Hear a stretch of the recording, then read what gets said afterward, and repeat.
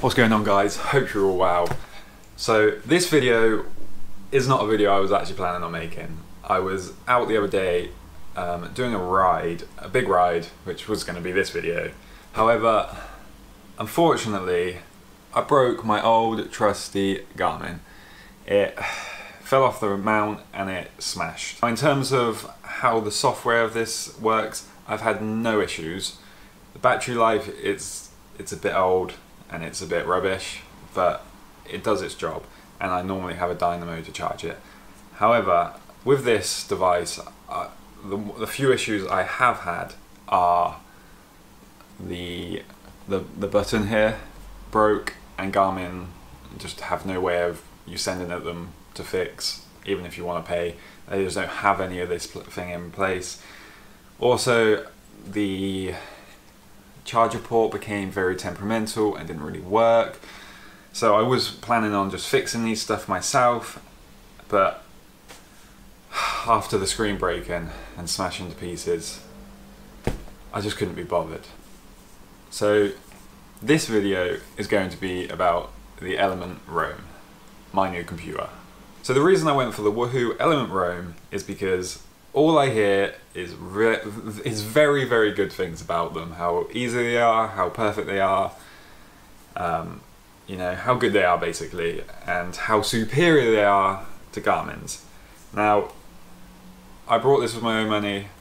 I can be as honest as I like, and I will say, the Garmin has actually been very good in terms of like what I need it to do, the mapping, everything like that. The battery is pretty rubbish. I can probably get about six or seven hours if I'm not following a route. About the time I got this, this was like, I think I got this like four or five years ago now. So I'm not really comparing it in terms of battery to, to them. However, with Garmin not having any way to fix certain issues and like the button and stuff, it was it was just annoying because such a simple thing could have been fixed so easy but there I have it. So the goal for today is to essentially give this new element roam like a first first hands-on impression of somebody who's never really used it. You're coming from a Garmin are you going to like it? There is a few things that I want to test out. The major thing is the battery and also obviously the mapping and I would like to talk about the segments.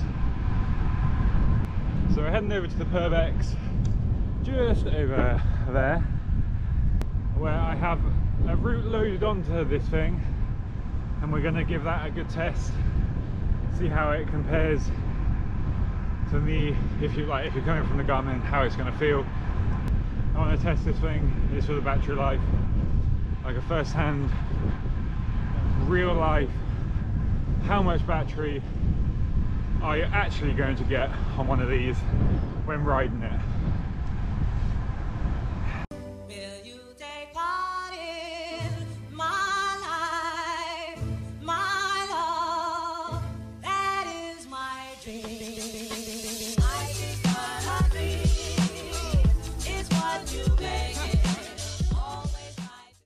So I should mention how this uh, roam is set up. Essentially it's set up pretty much exactly how it comes out of the box. I changed one of the data screens so I could see the battery level. Um, apart from that, it's pretty much the same. Auto light is on, however there's no accessories attached, no power meter, no heart rate monitor, nothing. So that's how it's set up. And there is one concerning thing already. I set off with 100% it's only been 30 minutes and it's gone down to 92% so I'm not sure how realistic Wahoo's 17 hour battery life is going to be but we'll see because Autolite potentially could use quite a lot of battery but that seems quite a lot for how quick that's gone down so uh, head over to the Purbeck still and let's carry on. Okay, so I've just stopped. I'm like quite close to the start of the route, so I want to test like setting up the route and then like if it will actually take me to the start of it. I think it's up that way. I haven't actually been to the start of it. So one thing to say is that 55 minutes who is at 90%. It's at one hour, one hour eight at the moment. It's still at 90%. So it does seem to have sort of settled from the first sort of like half an hour where it dropped like nearly six, seven percent. Let's jump into setting up the route and let's see how easy it is and how fast it is. Let's do it. So we're going to go to page. So we're here. I want to go route. So I've got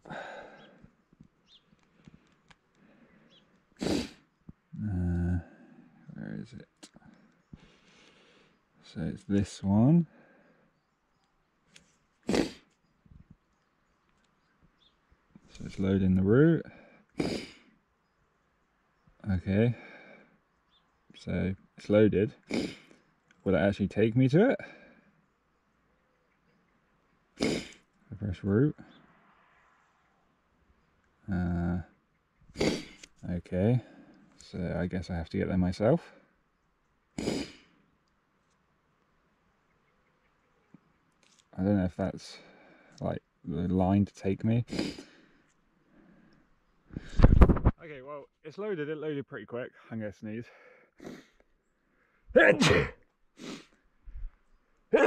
it's loaded pretty quick. I'm not. I think that's the line for it to start. I'm not actually 100% sure. It's not exactly completely easy to understand what's going on here. Okay, so I'm going to start the route.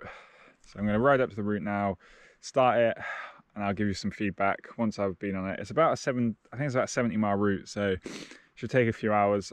And there is some points where I'll come along the same road but in a different direction. So it'll be good to see compared to a Garmin how it sort of because it does sort of show the way you're going. And I think on a Garmin it just shows lines from what I can remember. So let's get into it. Once I, once I pressed start and resumed the ride, it did actually ask me if I wanted it to be directed to the start of the route. So it does do that. Um, you just have to start. To be honest, it's a bit weird because then you sort of start and then it's like, oh, do you want to start? okay, I have I have found one issue so far that is really, it kind of bugs me. And it is kind of annoying. On the maps, when you come up to a roundabout, especially if it's a little roundabout, which we have a lot of in England, you can't actually see it's a, roundabout coming up on there. So you're not actually and it's quite hard to tell which exit to take. Um, so that's a bit of a pain to be honest so far. Um, let's check the battery. The battery is currently at 87% so it's definitely like settled down. It's not just draining so yeah it's not too bad the battery is sort of settled down, it seems to be a lot better.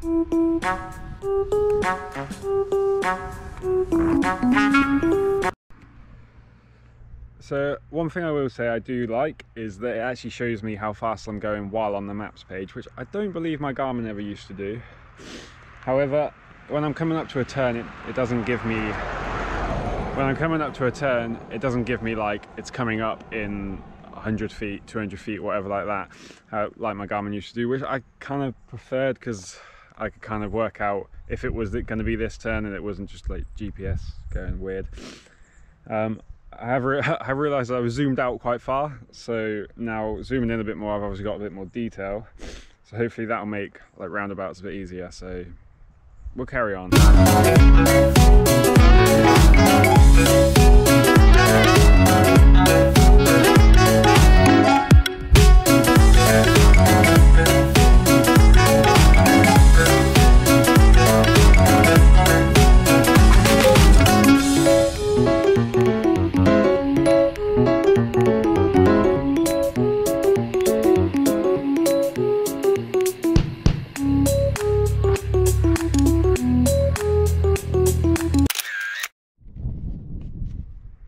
currently 3 hours 39 minutes in and to be fair the battery to be fair the battery um, is only at 77% so to be honest, like I think you could probably do a good 200 mile ride, probably even without, probably without um, even having a battery pack. I think you'd be fine. I've probably got about 40 or so, 40, 50 miles to go until I get home. But there's one more thing I want to talk about, and that is is the segment screen. My issue comes with this because it shows everything you need apart from the actual map. Compared to my Garmin, you get like a map of the actual segment that you're on and the route. Fortunately, on the Wahoo, it, it just shows time behind, personal record, etc. However, it doesn't show the map, which I really, really want because I like to do sort of time trially ones. That's, that is something I would much prefer to have here is the map instead of like the elevation. Maybe you can change it, I don't know. If you can, comment and let me know. So, coming to the end of the ride now. I'm gonna head back and we'll jump into what I like, what I dislike, what I think could be improved, what I think is better than Garmin or whatever, you know, everything.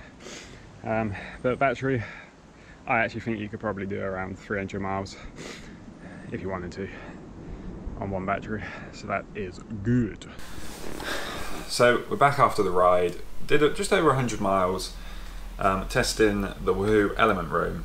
and to be honest, like when I was riding, I think I was picking up all the bad things about it. So we're going to start with the good things. I think let's yeah, let's start with the good things. So after a, after about 100, once I hit the 100 mile mark, I, I don't know how long it had been on, but it was actually at 70% battery. After the initial first like 50 minutes it had gone down like nearly 10%. I was a bit worried about that. However, it did seem to just sort of sort itself out and sort of calm down a bit. To a few reasons why I really like this device. Number one is the way it displays the route, especially on this route in particular, it was a, a bit of a loop. So normally on the Garmin, at least this one, I'm not sure about the newer ones, I think they're still probably the same. So they don't show which way the route is ridden. So essentially just follow a blue line. However, on this one, it does have obviously like the arrows um, telling you which way it goes, which is which is especially nice when you come to a, a road where you go on it twice in that loop.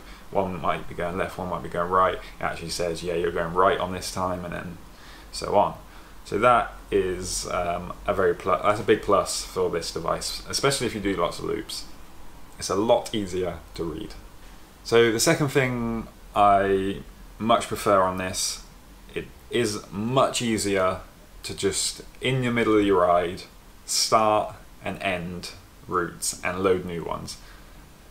That just seems easier. I don't. I'm not even sure if you can if I even know how to do it on this one because I think if I started a, a, ride I would start it at the beginning and then just leave it. I would never go into another route while in a ride on this. I'm not even sure if you can. It, you might have to end the ride to load another one. I'm not 100% sure on that though. But the fact that this is very simple, you just click on route and you can load or end the route that you're doing and then load another one that's very good and it's very quick as well, which is nice. So the third thing I really like about this device is when you're following a route and you're on the maps page, it actually tells you how fast you're going at the top. I think it's the top right corner on this, um, which is always nice. I, I like to know how fast I'm going and my Garmin never showed me that. And it's such a simple thing. Okay, so I have to, I don't want to compare the battery life on the two of them because very old device, very new device, and I'm pretty sure the new Garmin's have a lot better batteries nowadays. However, I've got to say, after 100, 100 miles and still having 70% battery life, I'm impressed. It's it's nice. I, I think I could probably do maybe even a 300 mile ride in that in its claimed 17 hours. I didn't have anything attached to this device, no no accessories, just it just literally had the auto light on that was it so after the whole ride which was probably around six hours with some stops and stuff um, I was on about 67% when I ended it so yeah, it's you can definitely if this if you want to do long rides, you can definitely do it on this. However, not everything is perfect, and this is not perfect. It gets a lot of it has a, it seems to have a lot of following being like the most perfect device, per perfect computer. However, I don't think it is. And if you're coming from a Garmin, I will say these are the a couple things that I did not like about this. The first thing I do not like about this device is if you're like me, you like to go and chase some segments sometimes. Especially for me, I like to do the longer ones, more the time trialy ones, and versus my Garmin, which is a very old device. Yeah, the screen, the segment screen, I much prefer on the Garmin. The reason I prefer it is because it has the map of the actual segment. So especially on them longer ones, you can sort of see how far you've got to go. However, on the Wahoo, it's just, it tells you how far ahead you are, how far behind, um, and what you're chasing basically, if you're going your personal record or the KOM, whichever one it is. Um, and I think it has elevation. But when you're doing a long time trialy one where it might be 10 miles and maybe you don't really know the course that well, you kind of want to see the map. I'd much prefer the map. And also you can see on the Garmin the, a little icon of where the other person or your best would be on that map. So you can kind of get an idea of how far ahead they are or behind and not just the two seconds ahead or behind sort of thing. So segment screen I'm giving it to the Garmin. I prefer it on there. Hopefully, maybe they'll add that. I don't know, because I, I like to have that map. Okay, and the second thing I don't really like about this device is you can only scroll through the pages one way.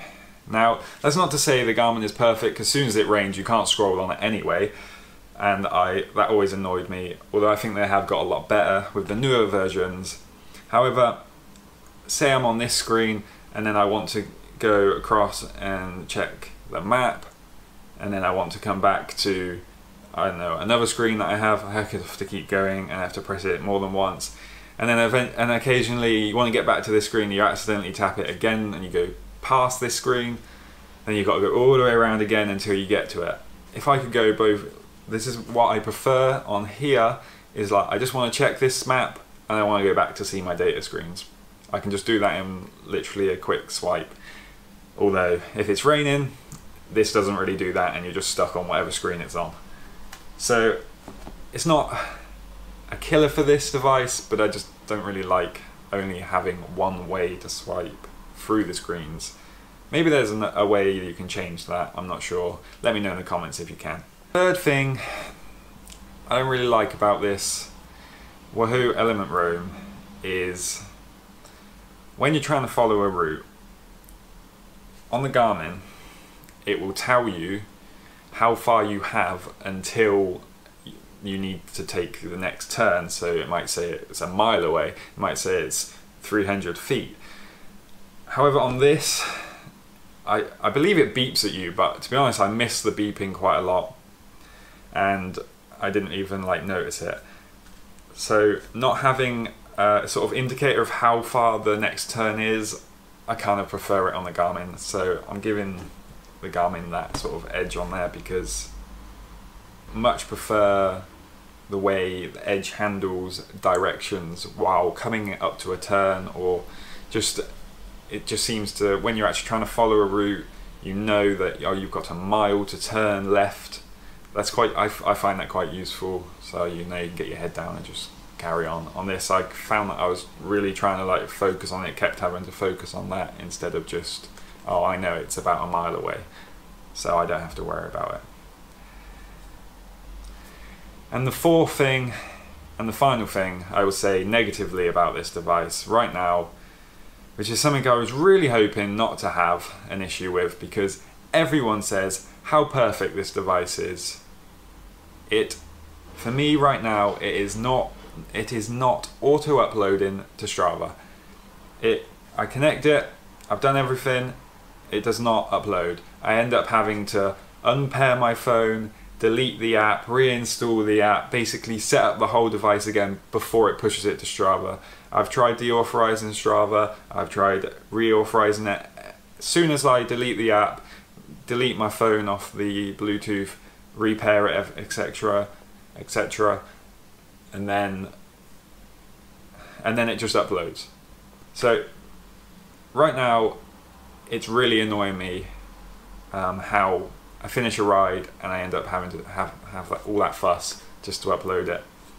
I will say, Garmin, the first time I ever did that, first time I tried to auto upload through here, I had the exact same issue.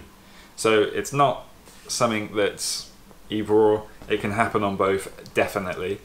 However, once I had reinstalled it and everything, it constantly worked on here. Granted, maybe not at the moment because Garmin's down or whatever. However, that's that could happen to a Wahoo as well. I prefer the mapping on this. However, I prefer using the Wahoo to. It, it seems a bit easier to just while you're in a ride to do things. So if you have any comments or questions about the Wahoo Element Roam or even the Edge 1000, um, please do leave it in the comment section below.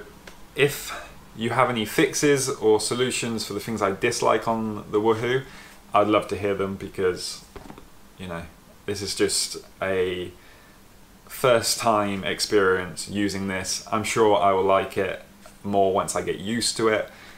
So if you've enjoyed this video, please hit that like button, hit that subscribe button, and keep smiling.